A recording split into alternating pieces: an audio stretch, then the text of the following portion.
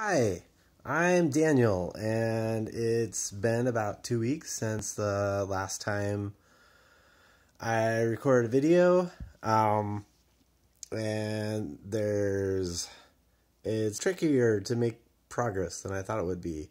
Um, I've been having trouble with the screen recording software. Um, the uh, operating system updates that have happened since the last time I did screen recording have made the programs that I used to use not work anymore. And what's available now uh, doesn't do everything that I want it to do. And that's been making things difficult. Um, and I'm the the fact that I've had a years of working on video software means that I actually know how to make my own tool and I've been looking into doing that instead of um, figuring out how to deal with what exists. Um, and that's required a significant amount of research to do, and it's um, I found I found that there's actually a significant need for that that um, uh, software related to that. Uh, I was trying to look something up and I found relatively recent uh, posts about can I do this? Oh, software does not yet exist. So um, I may have more than just solving my own problem, but solving problems for other people. And that appeals to me quite a bit. Um, so I'm at least going to be spending some time poking into that uh, before I get back to writing a tutorial um, or recording a tutorial. Um, and it might mean that I make a tutorial about making video software instead of a beginning to program tutorial um, as my first uh, project along those lines.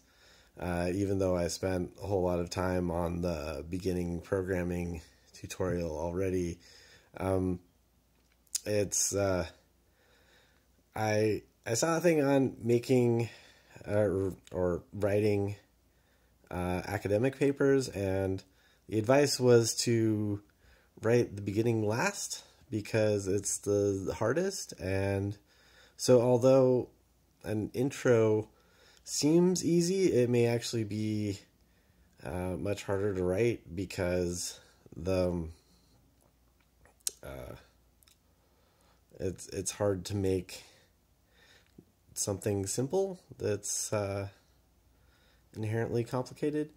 Um, so what what may end up happening is that I write some more advanced programming uh, stuff and then get back to beginning to program, which in some ways is a disappointment because that's what I, I set out to do first. But um, on the other hand, uh, there's lots of beginning to program videos, and um, it's hard to stand out on that versus if I write a how to do um, make a video recording program, uh, I, am not going to have a lot of alternative sources out there, and that will uh, most likely lead to people seeing my video via search versus just